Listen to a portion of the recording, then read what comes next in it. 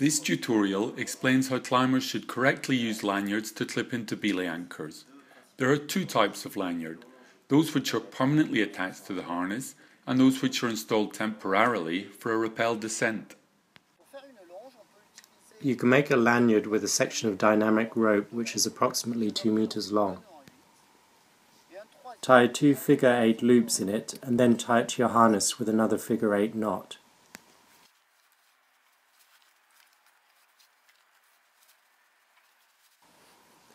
Tighten each length of rope individually. Use the far end of the rope to clip yourself into the belay. Place your rappel device in the middle loop. You can also use a purpose-built lanyard made from dynamic rope with loops sewn into it. Attach it to the tie-in loops of your harness with a lark's foot knot.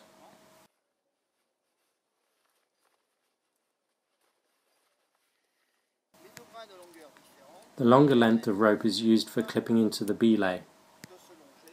The shorter length is for attaching the rappel device.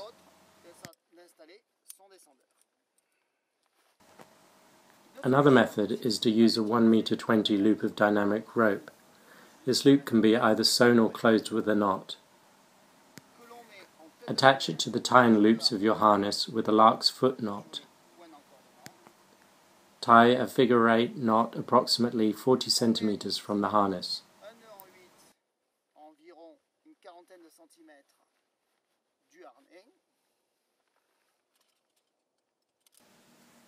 Clip yourself into the belay using a screw gate carabiner on the end of the loop.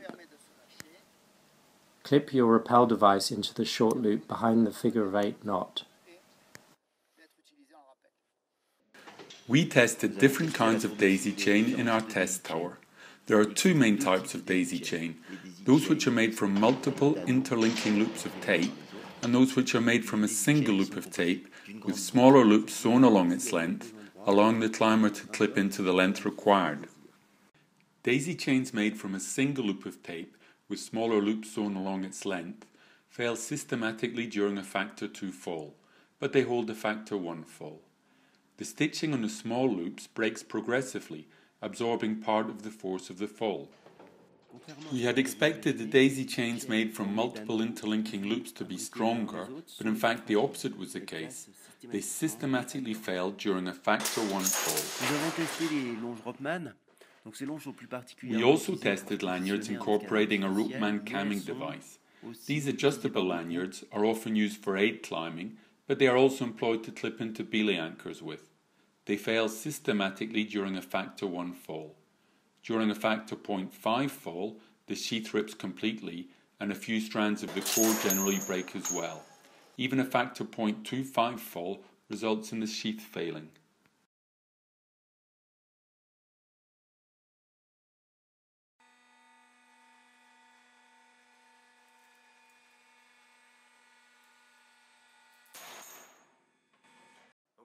It's important to know that when you tie a knot in a sling, you reduce its strength by 40 to 50%. In order to save weight, climbers often make lanyards using Dyneema tape, which is very lightweight and also very strong. The disadvantage is that it has no elasticity. It's completely static. If you don't have a short length of dynamic rope, you can make a lanyard from a 120 cm sewn sling. Attach it to the tie-in loops of your harness with a lark's foot knot.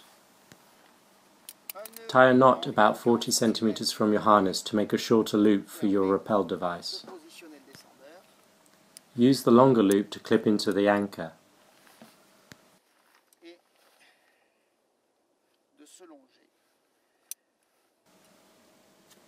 If you use this type of lanyard, it's extremely important to keep the sling under tension at all times.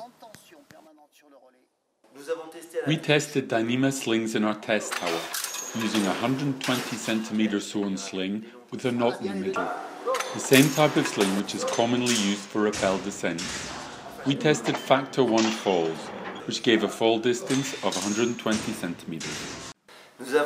We also did tests with lower fall factors, Slings failed during factor 0.3 falls, which correspond to a fall of just 20 centimeters. Very high forces were generated during these tests. If you fall directly onto a sling, there's obviously a real risk of the sling breaking. However, if the belay anchor is not 100% solid, there's also a risk of ripping out the protection.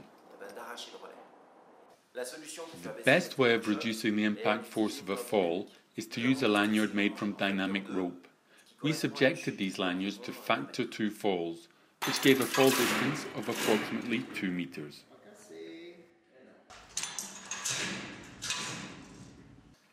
Even during factor 2 falls, lanyards made from dynamic rope never broke, and the impact force never exceeded 600 kilos.